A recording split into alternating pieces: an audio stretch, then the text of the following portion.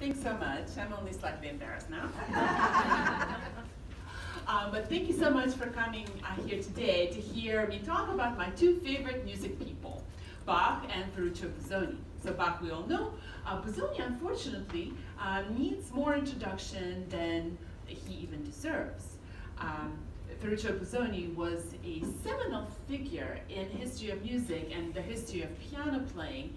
I think most of us as pianists, if we trace our uh, pianistic origins of our teachers, we're going to hit against Busoni sooner or later, every single one of us without exception, no matter where we come from. So what we choose to play for our own concerts and our students and how we choose to play it is also due very much to his influence, and yet most of us have never um, even heard the name.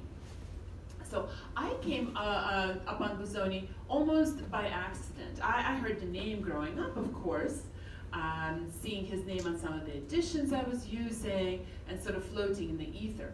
But what really did it for me is uh, at some point during my doctorate studies, it was time to choose a dissertation subject. I had exactly zero ideas, so um, uh, so I came to my teacher, Nina Svetlanova, who said, here, and handed me a little book. Um, the book was in Russian, I read it, it changed my world. And then she said, go translate it.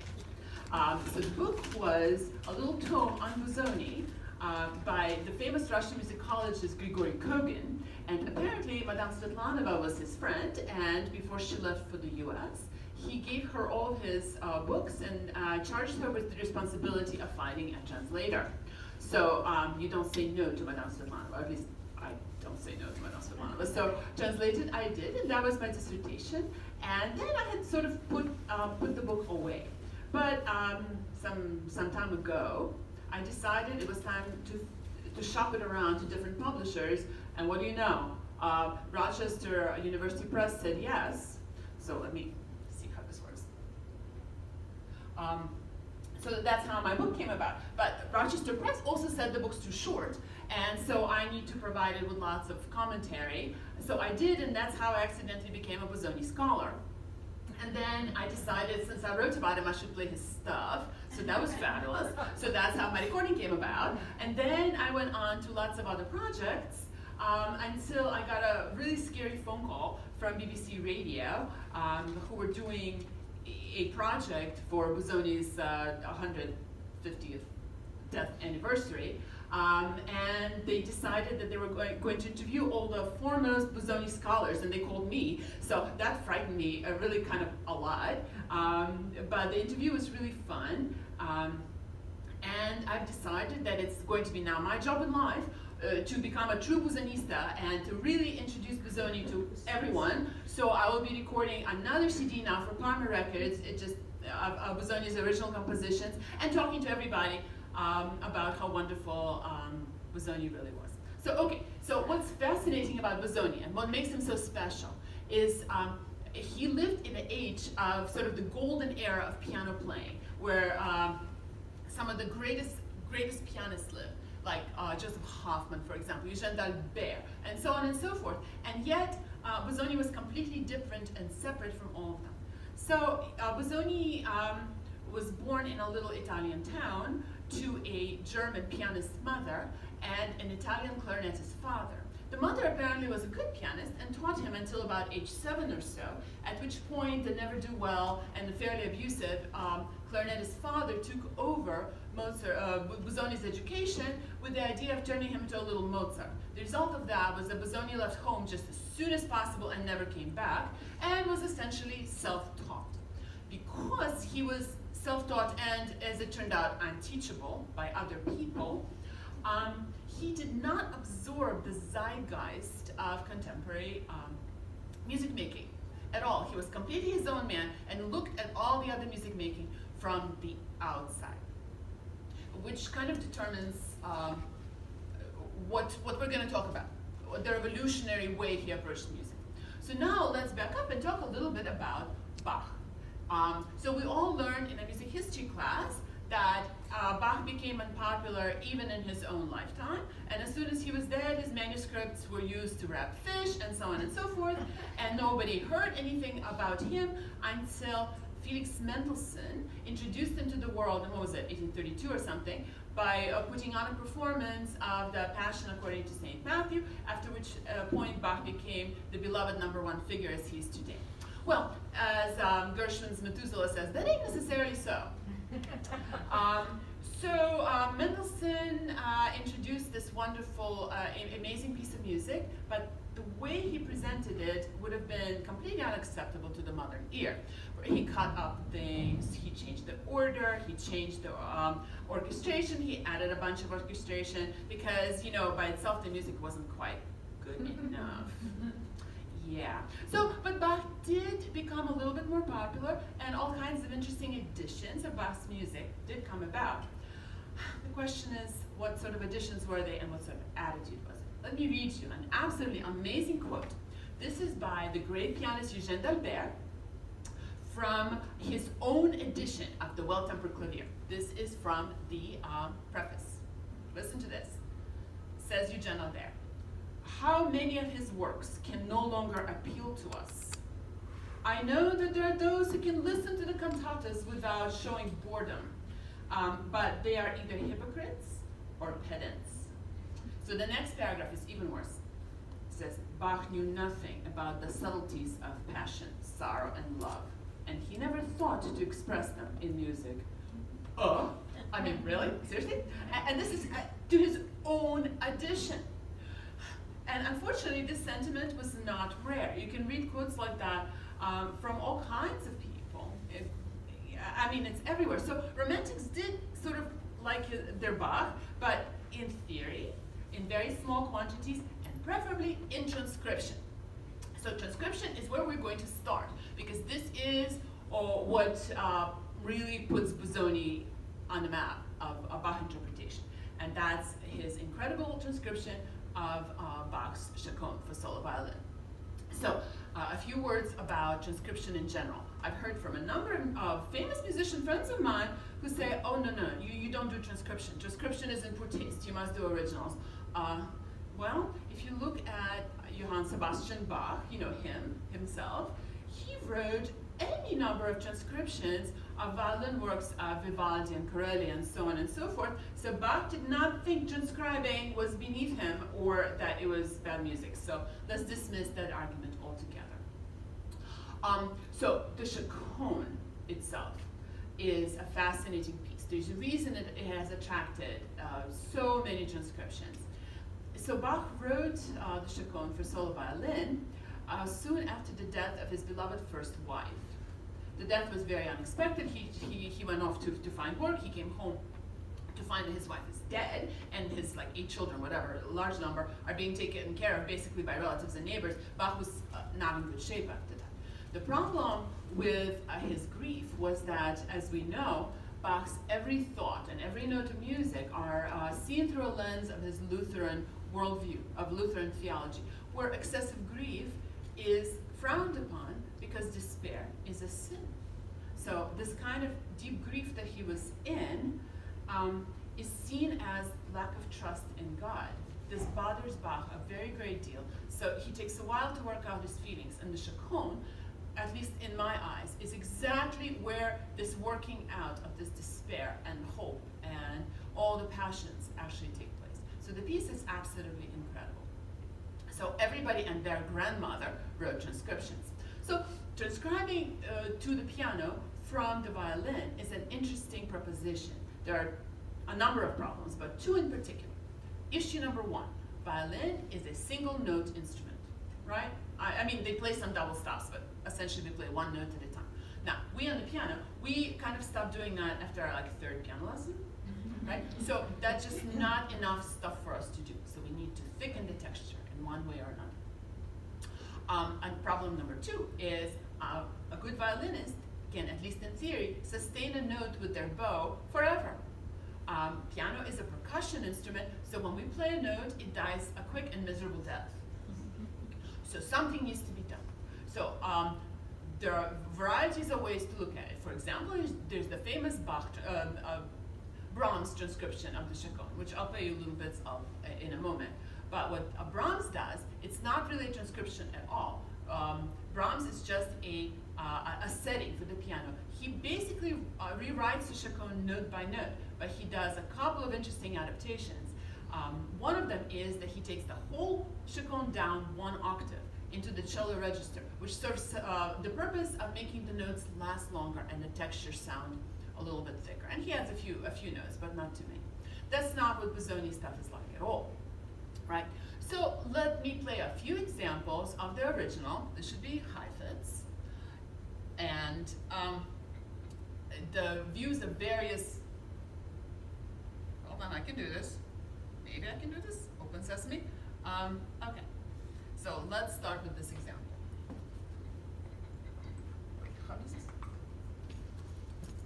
You know what, let me just put it on the floor because I'll be, Okay. yeah. Okay. So here is Heifetz uh, playing a variation, a little bit from variation number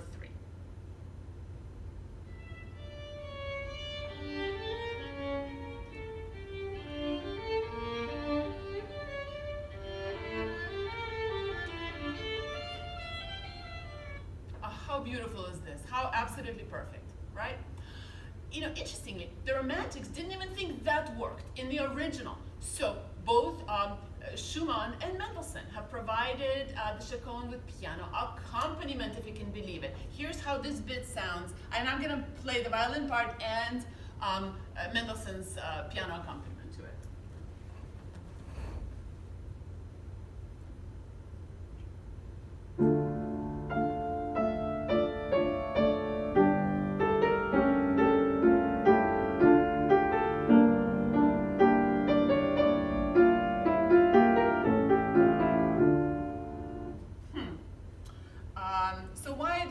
does that sound so wrong to the modern ear? I mean, the harmony is all right, yeah? Right? Well, but, but uh, listen to the texture of this thing. It's melody and pulsating rhythmic accompaniment. This is the most homophonic possible setting. This is not how Bach thinks. This is not how Bach writes. Uh, Bach always thinks polyphonically. So here is Busoni's uh, setting of the same little fragment.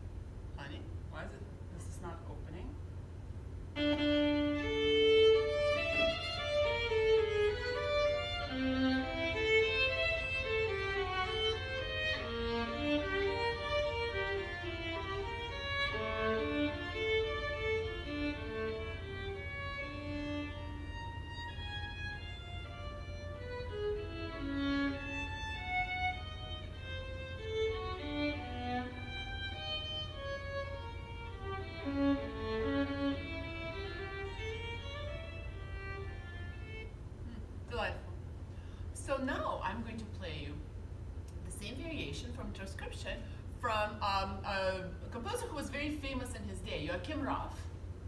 This transcription actually is quite a fascinating thing. I've even seen that people are still performing it. It's extremely pianistic, extremely difficult, very much very Lisztian. But here's what Joachim Raff does to this little bit.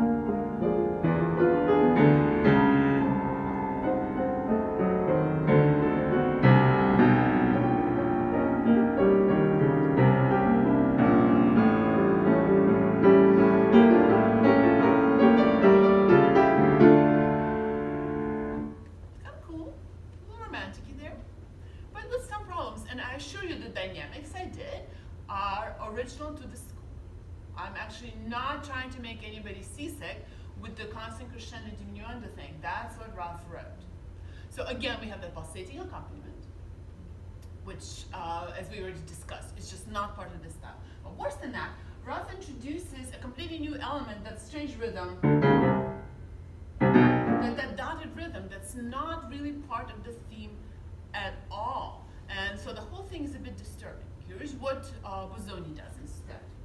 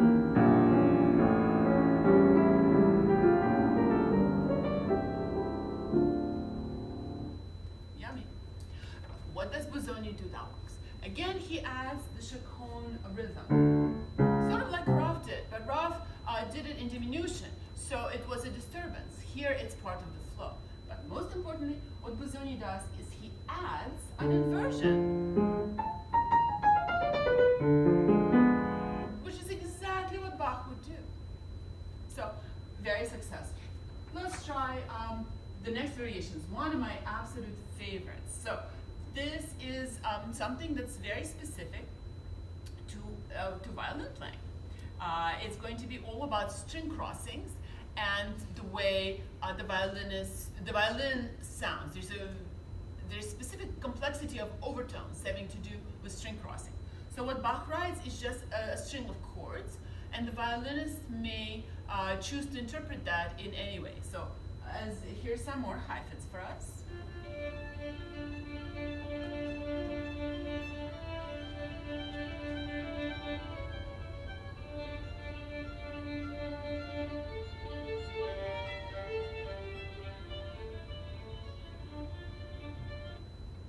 So this is so special to the violin that transcribing it to the piano presents a particular challenge.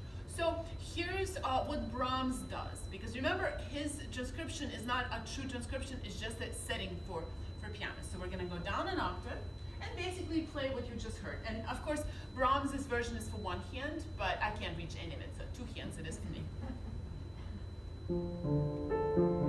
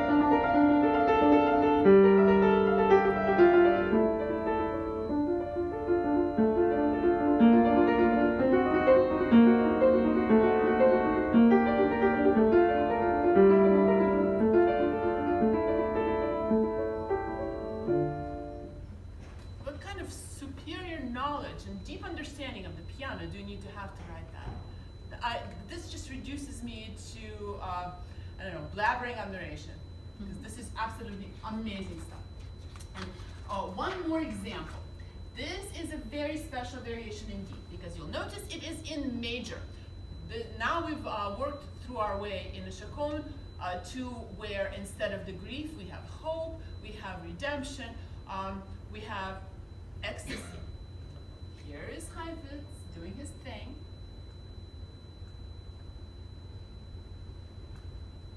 Amazing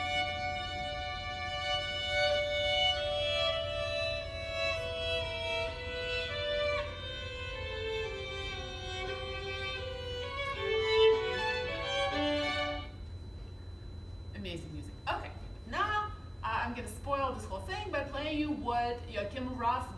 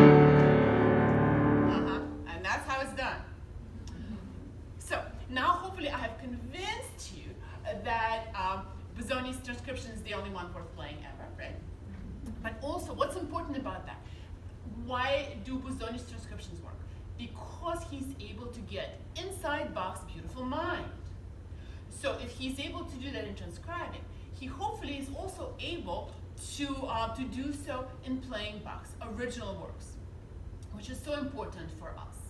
So now let's go back to what was going on in music of his day. So in general, the style, uh, the, the, the, late, very decadent romantic style, was where um, there were some specific precepts. So the sound is always very warm and always very rich. The hand is always very light and very free. The motions are all actually quite excessive. And more importantly, the expression uh, actually goes way over uh, sentiment and way into sentimentality, at least in Busoni's eyes. Uh, there's constant uh, crescendos diminuendos in every phrase, always a rubato, always rushing and pulling. This annoys Busoni to no end. Um, but it, uh, it, his failure to be part of that style annoys the critics. So uh, there's many reviews where Busoni is accused of being cold and unfeeling, and uh, what the reviewer says, and it's a hilarious quote, he says that, well, these other such and such pianists are able to always reduce their listeners to tears, to which Busoni answers, uh, quoting Goethe, well, they share that talent with a simple onion. um, I, love, I absolutely love that. So, um, so Busoni finds that style of playing completely unacceptable, well, everywhere, but especially unacceptable in the works of Bach. We still hear that kind of playing today. I refer to it as Bachmaninov, uh, I wish it were my term, but no, I stole it. Nevertheless, um, the problem with Bachmaninov kind of playing is that it, it sounds like inferior Rachmaninov and not superior Bach. So Busoni has uh, some things to say about Bach interpretation. So, um, correctly understood, according to uh, Busoni, the style of Bach is characterized above all by masculinity, energy, immensity, and grandeur, Performance of Bach must be vast in plan, broad and robust, preferably too severe than too gentle, entirely free of contemporary elegance that contradicts Bach's character. So let's take a look at some of Busoni's markings. So I took these from um, some of the editions of Busoni's Busoni's edition of the inventions, of which we'll talk a little bit more in a moment. But look at the underlying stuff, the stuff he complains about, effeminacies, modern elegance, uh, the uh, constant crescendos, are commonly employed. No more modern elegance, right? He goes further than that. So he says you may not even do, wait, wrong. Um, okay, what am I doing? How do I make the Linda disappear? Press escape. Uh, escape. escape. Aha, thank you. So look at these notations. Non rallentando, don't, don't slow down. In tempo, don't do anything. Okay, well, that's all fine and good. But if we take out all the romantic notions put in Bach, what we're left with, not Bachmanian, but now we get absolutely robotic performance. We hear that from our students as well. So I don't know that that's any better, right? So now we have to think about how, what do we put in the music to make it make sense, to make the style come alive. And here's where Busoni's editions really help out. So the next few uh, screens that I'm going to show you will be comparing Busoni's edition um, to edition by Carl Czerny.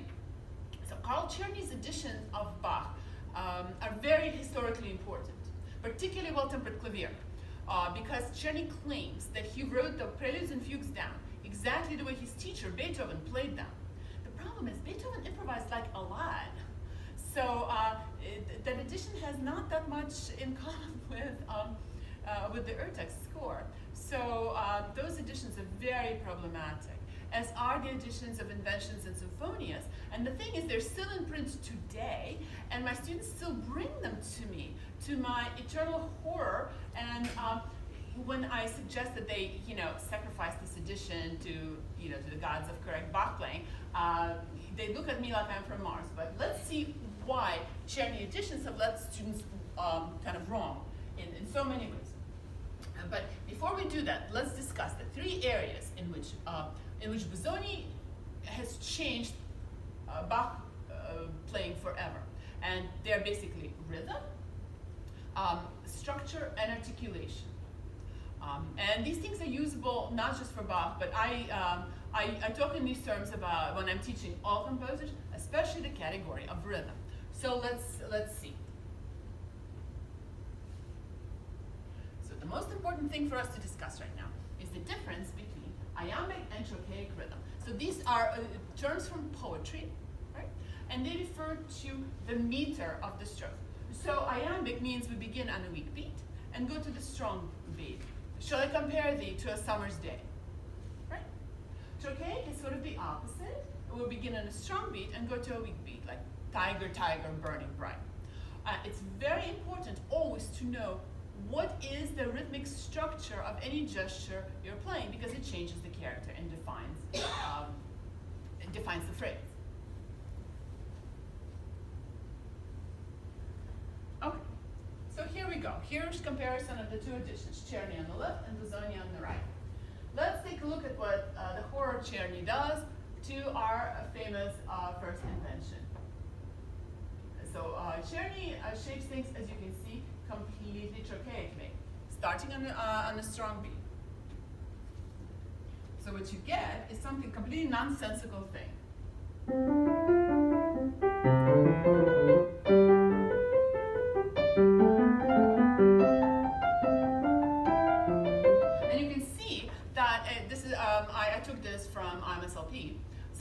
Some, poor teacher has tried to correct the problem by putting in those little slurs. Because of course this kind of playing, it doesn't make the slightest bit of sense because we know the subject is eight notes long.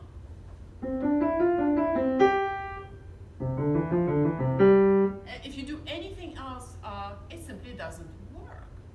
And yet, uh, Czerny edition was in use for over a hundred years, and as I said, still, still in use today. And I still get students bringing me music that sounds like this. Here's one from the A minor invention. Again, Czerny doing his terrible thing.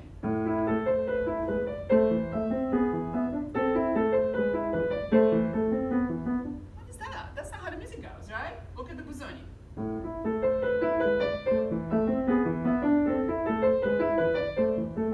I'm of course exaggerating in an ungodly fashion, but nevertheless, um, it just, shows you the difference of how uh, one edition versus another edition can either clarify what's going on in the music or complicate the matter further. So let's apply this to real music now. Here's the F major invention. F major invention has basically two sets of material in it, doesn't it? So there is the, that first subject,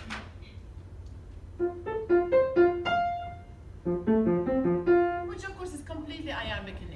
Starts on um, the second half of the first beat and goes right through to the downbeat. And the same thing is uh, with all the 16 notes. Right? They're all um, they're all iambic.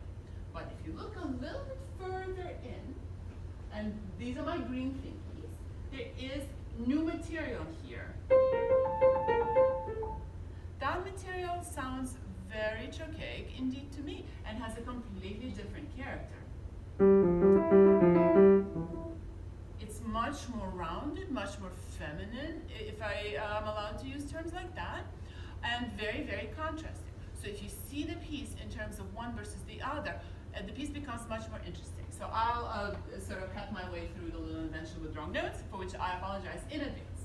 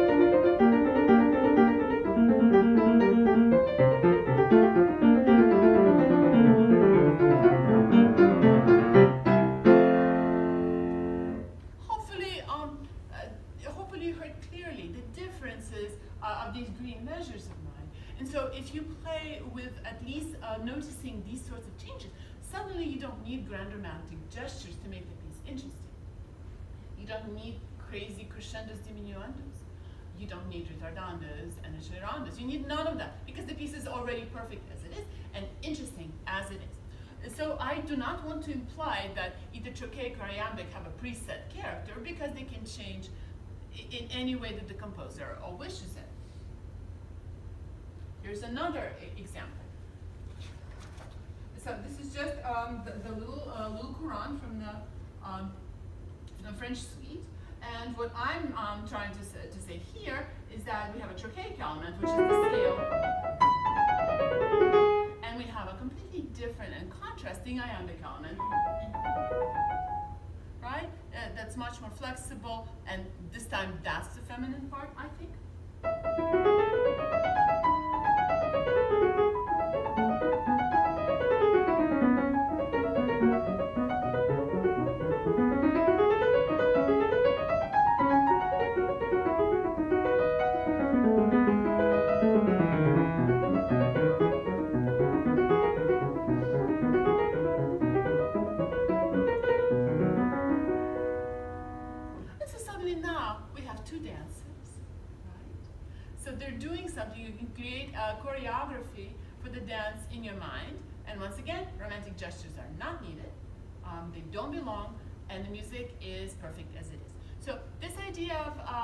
Iambic and trochaic approach to rhythm, I find so useful that the last time I found myself talking about it, the lesson was in a Scriabin prelude of all things. Um, because this, you know how in some composers, the, either the editing is or uh, the composer was a bit sloppy with slurs and you can't necessarily trust them. And if you play, in some composers, the way slurs are, the melodies just don't make any sense at all. Like Tchaikovsky's another great example. I swear he was just throwing those slurs in the score like thin, you know, uh, been the tail on the donkey. Um, they, they just, they make no sense whatsoever. And so sometimes you have to sort of discard them and think, what makes this melody actually work? As I said, in a Scriabin prelude of all things, the minute we rephrase things with the student in a iambic way versus the trochaic way with slurred, suddenly everything made sense. So I highly recommend um, starting to think this way a little more. And you don't have to use fancy terms, but all my students are trained by now um, to, to recognize what I'm talking. So the next um, important contribution of Busoni to Bach interpretation was what we now call terrace dynamics. Um, so what is implied by terrace dynamics is um, instead of having these wild, constant, seasick seasickness producing variations of dynamics, we have sort of slabs of material, right? Um, it doesn't mean that each slab is absolutely flat, God forbid, because that would be impossible to listen to, of course. Um, what is implied is I will show you. Um, ba uh, Busoni wrote his great Fantasia Contrapuntistica, which is a working out of a unfinished Bach contrapunctus, and he provided it with a picture. Look at that. That's amazing. So I now make students draw things like that for all their pieces. So you can see that every section in this piece is defined architecturally so that each, uh, you notice, each uh, section is actually its own little arch form, right? The way we normally phrase things. But they're now all in relation to each other. And so this piece obviously has introductory sections, in between sections, and three huge groups of sections. Um, if anybody's interested, I'm, I'm, happy to send all these things to you uh, as a PDF or a JPEG, so you don't have to try to photograph, if you like. Um, and this is also all over Wikipedia, if you'd like to, if you'd like to take a look. But if you think about music this way, how much clearer is construction, especially of long pieces? Think of something that will ramble otherwise, like a huge Chopin ballade. If you draw yourself a, a plan like this, then suddenly suddenly you know that the climax is not at all that loud business on the third page. Not at all. Because you got, what, like 18 pages to go, right? Um, and so you would know what's going on. So how does this apply to Bach interpretation? Well, even simple things, like um, uh, not creating transitions, but creating clearly delineated structural um, divisions like this. So let us go back to the F major invention again. That is not that is not the F major invention. Um, here it is. Um, it, actually, the two examples show the same thing. Look at what, what is happening. This is, these are Busoni's markings. So we come to the end of the first big section marked with a double bar on the third, on the third line. And then instead of a transition like many people do, diminuendo, instead there is a big marked change. So um, one hears performances something like this. Um, I'll, I'll start from somewhere.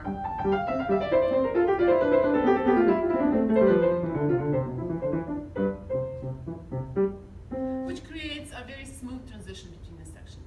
Busoni says no, um, because that doesn't make any sense. That leaves the listener uncertain where you are in the form. So instead, we have.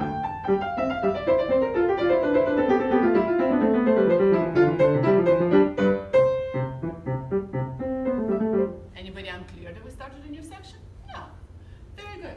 Um, the same thing applies to, I guess, with, uh, in the previous example. Well, you can just see it. I'm not going to play this one. That the divisions between big structural points are always marked by contrast and not transition. So smooth transitions in Bach are not part of the style. They don't work, they're not effective. Um, in fact, they don't work much in many other composers as well, because we're not trying to create sort of undifferentiated mush. we we need to let the listener know where we are in, um, in, in, in that beautiful architectural structure. So the, the next um, area where Busoni is a great innovator is the area of articulation and Bach. So once again, uh, time to throw some shade on Czerny, uh, because his articulations are very ineffective. Basically, in Czerny, everything is going to be legato.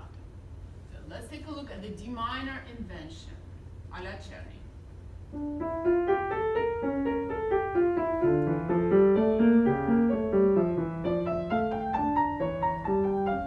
I'm actually playing it slow. Czerny's, um, uh, tempo indication is ridiculous. I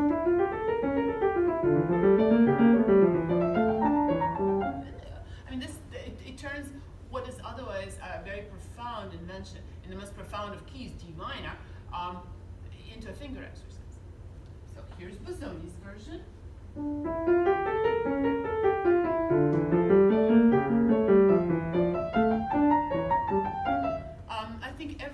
today will mark it as, as, something as something of this nature to differentiate um, the different materials. So eighth notes have their own personality and character, and the 16 notes have a completely different personality and character, and never the, the twain shall meet, uh, because otherwise it creates a mush in our um, in the listener's mind, right?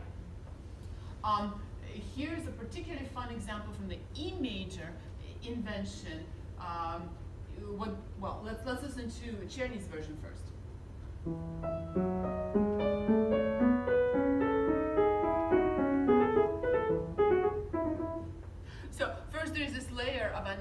Undifferentiated legato, and then we hop around.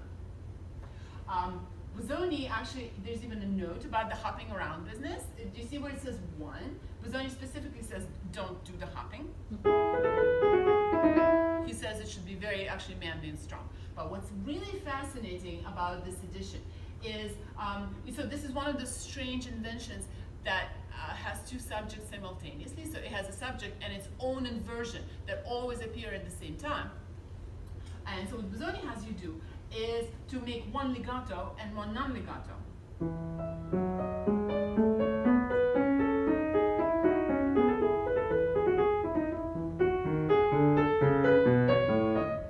I'm not even sure that I necessarily agree with that interpretation, but it is fascinating and interesting, right?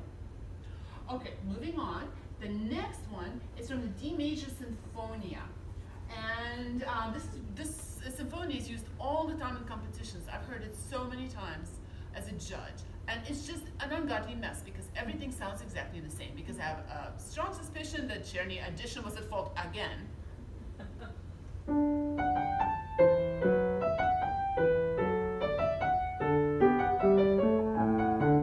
I can't play it like that. I mean, my, my hands are refusing. Um, what Busoni says is like, no, you can't make everything a differentiate wash.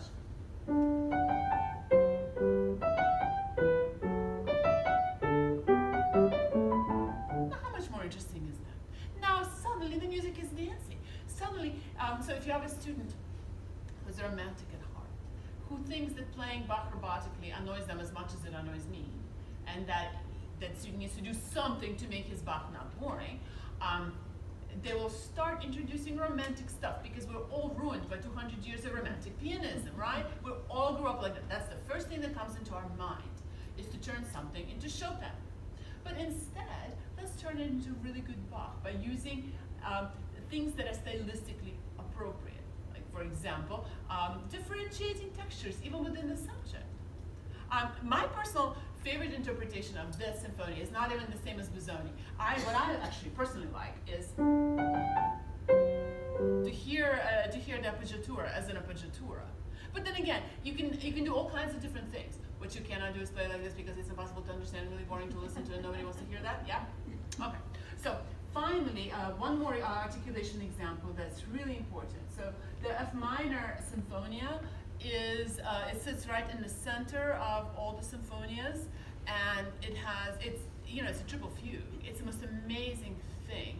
Um, it's harder than most of the fugues, and really rips at your heart if played right. So,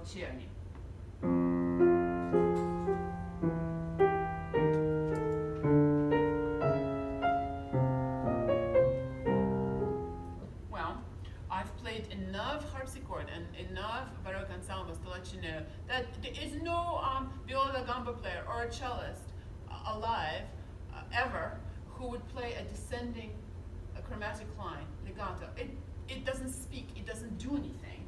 So Busoni is way ahead of his time.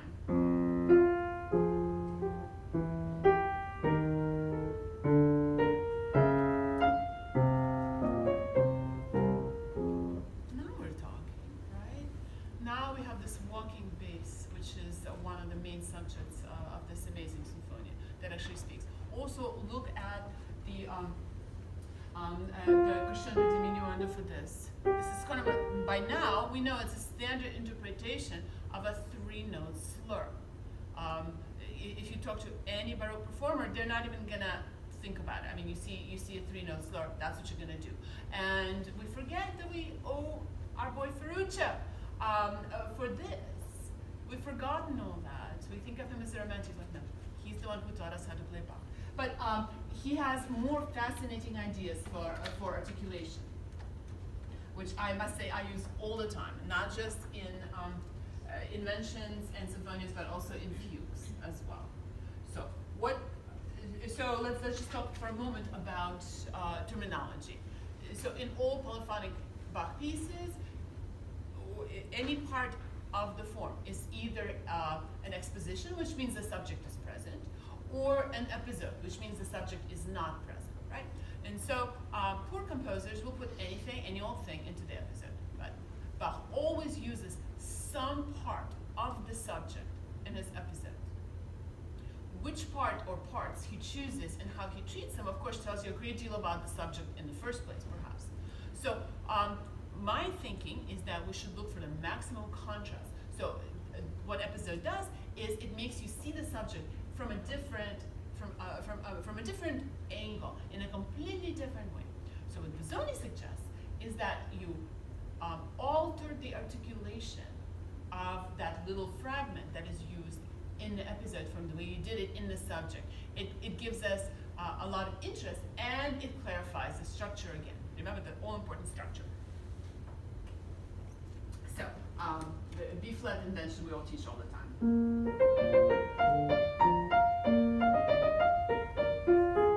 The subject just really sings. It's such a lovely thing. But look at it in the episode which would be on the, on the second system and, in yellow. What he suggests is this.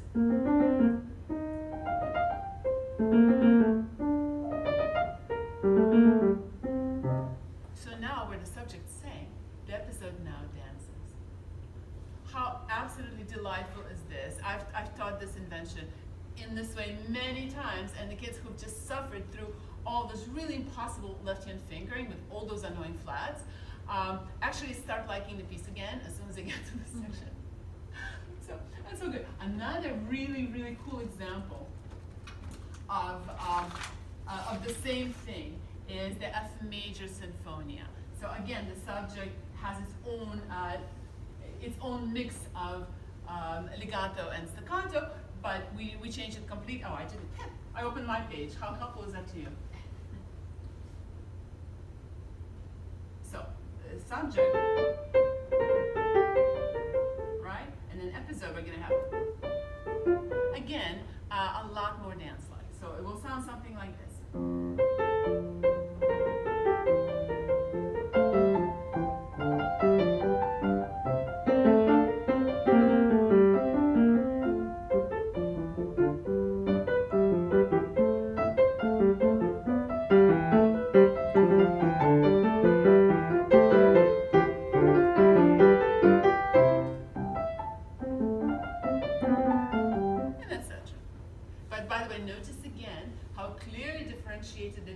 intersections are with dynamics, right?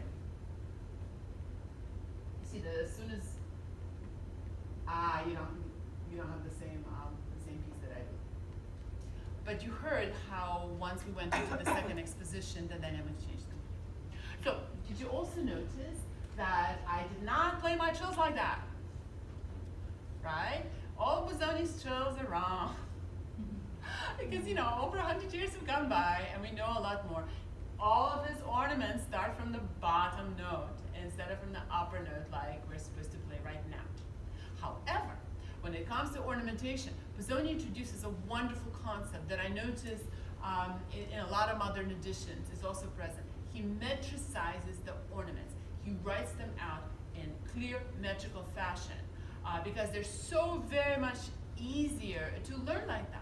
You can always free them up later, right?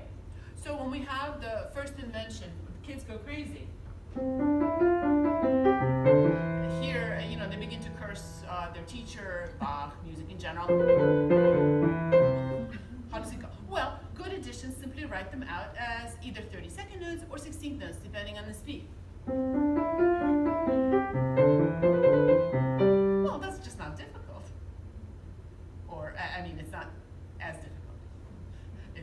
Produces fewer bad words. Mm-hmm. So, so it's all good. So that's another one of Busoni's contributions.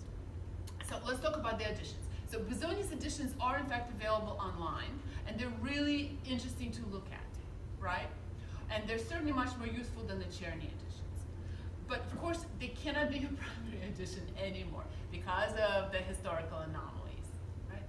So again, I've had arguments with very learned musician friends of mine who say Urtext only.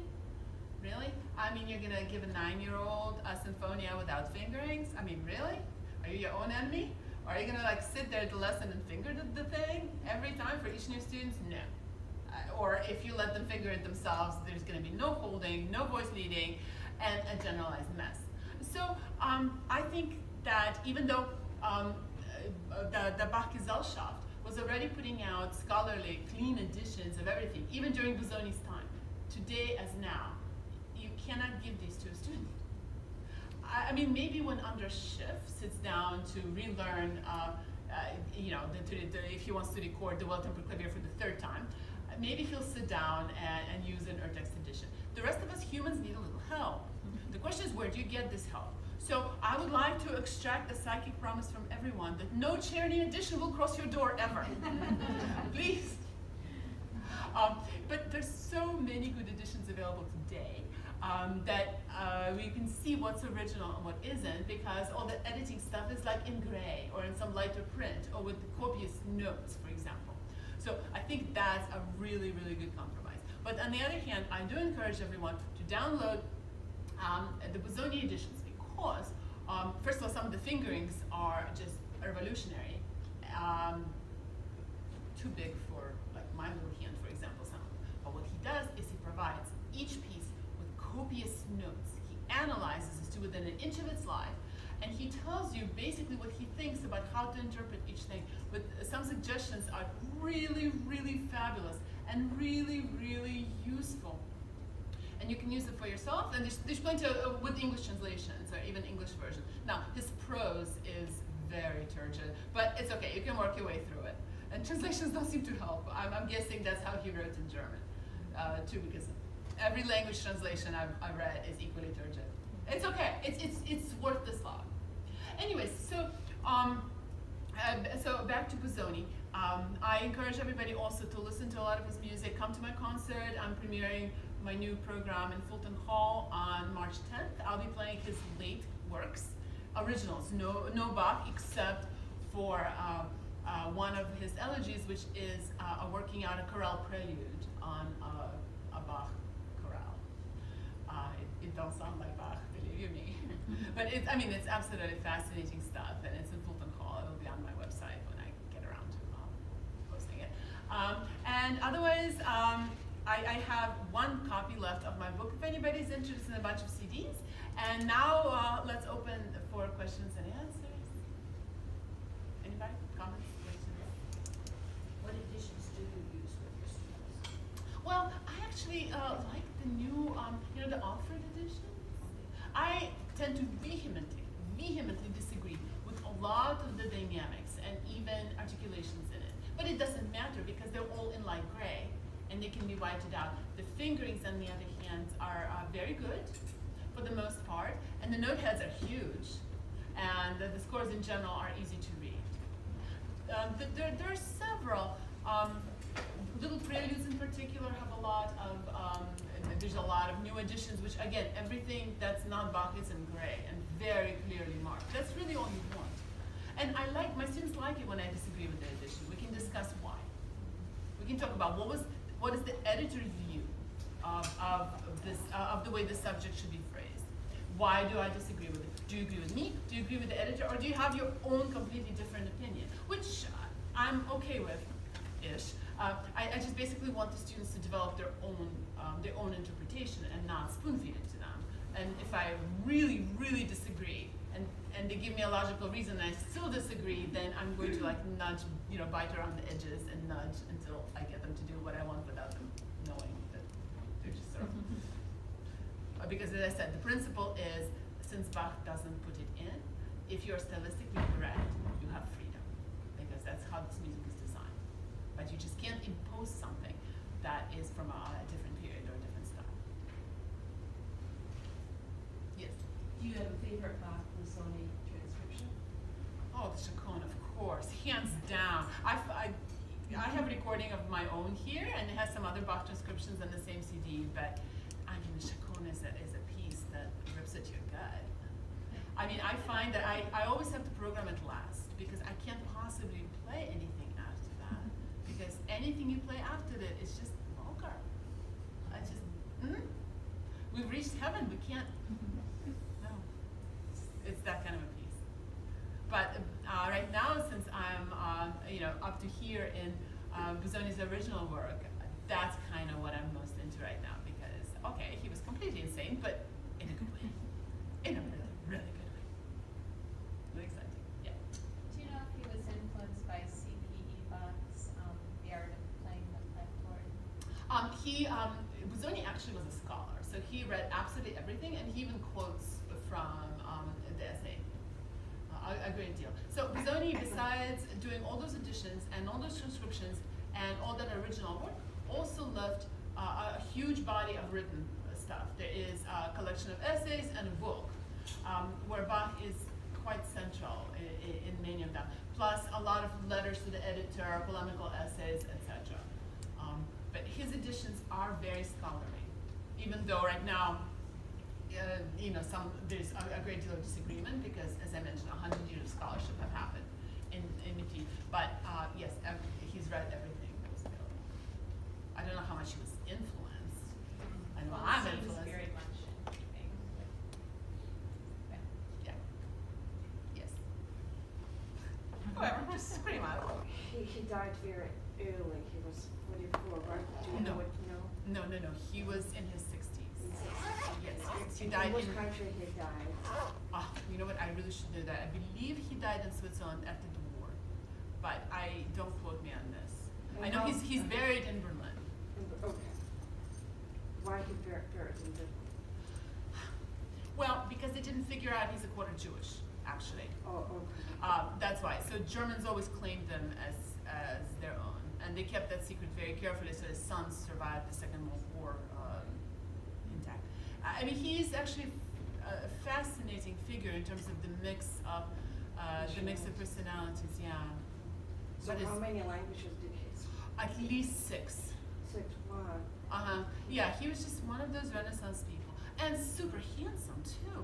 Yes. I mean, all the pictures from when he's young to where he's in his 60s. I mean, oh my goodness, how can one person have so many gifts? So he had family, right? Yes, he had a wife um, uh, and uh, two sons, one of whom was a painter, one of whom was a poet. But I do not know what happened to them. I think they, they're private. I just, I do know that he died before the Second World War. But his family was in Berlin at the time, and they survived. And the wife was Finnish, so the kids are even more, uh, more of an interesting mix Finnish. Mhm, for Finland. Yes, You used the word zeitgeist. Zeitgeist. Uh, What is, Um, it's one of those untranslatable German words. It means kind of this, the, the state of, uh, of culture at the time. Um, so kind of like the, the, the cultural going.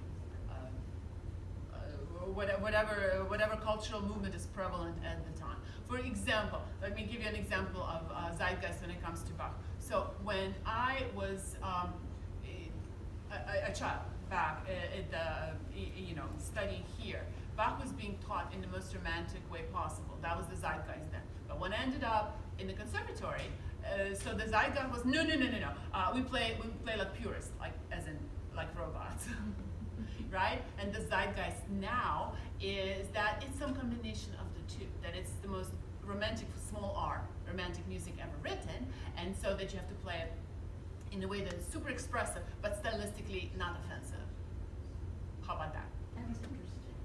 I don't know. That's why I use the word because there's no equivalent in any other language. It's like Schadenfreude. Like you can't. There's no other language that expresses the concept, you know, of, in somebody's pain. Schadenfreude.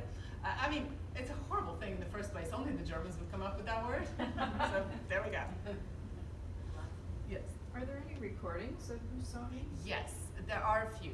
Um, the, the, the most important and fascinating ones are piano rolls, actually. My book talks a lot about the piano rolls um, because they seem to be the most direct representation of his playing. They give you the pedaling, everything. And he also has some acoustic recordings. And there's a lot of arguing about whether they represent anything. Because, uh, you know, there's a lot of these very early recordings by all kinds of um, uh, performers, and the quality is awful, right? Uh, just because recording quality was still awful at the time. More than that, I don't think performers took it seriously. They would come into the studio, they'd get paid by advertisers, you know, to do that. They'd spend 20 minutes and run out. So people say that Busoni's particular recordings are crap. However, there's a fascinating story where um, a recording of uh, like that is played in his house after his death, and his wife comes running into the room screaming "Ferruccio, Ferruccio!" So to her, to her, it sounded just like him. So who knows? Who knows what's true? I think it's a romantic story. so, I have a question. yes, Um, so you teach the college students, Uh-huh. right?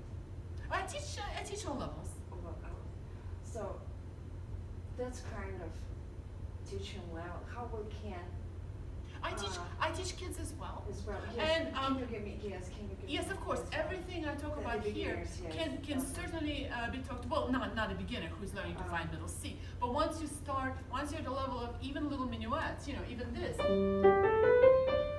you talk about how important articulation is, so you don't get.